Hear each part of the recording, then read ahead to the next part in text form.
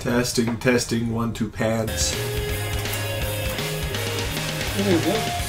Are you hearing my pants?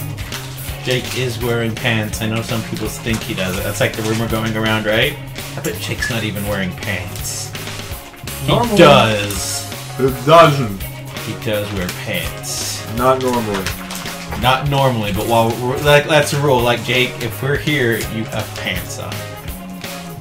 If I have pretty to. Much the rule. I made this rule. It sucks. I know.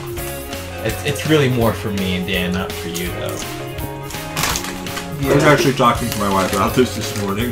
About you not wearing pants? She's like, "You wear pants around your friends?" I'm like, "Yeah." And she's like, "Good. That'd be weird." I'm like, Cause I don't want that gay black guy all over you. That's a lie. That's a straight up lie. Does she still think I'm gay?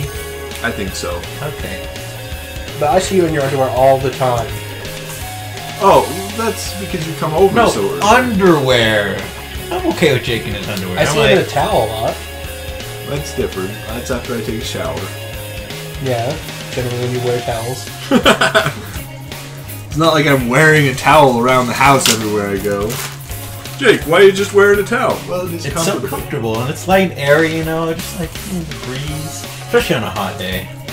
Yeah, but then they like if you sit down, it's wet and soggy, so you have to practically stay standing the whole time. And even once it dries off, the towel is not comfortable once it dries off. Towel etiquette today, oh, Okay, evidently. that's a good test, I That's a think. good. You don't want to start. You sure don't want to talk about more towel etiquette for our fans?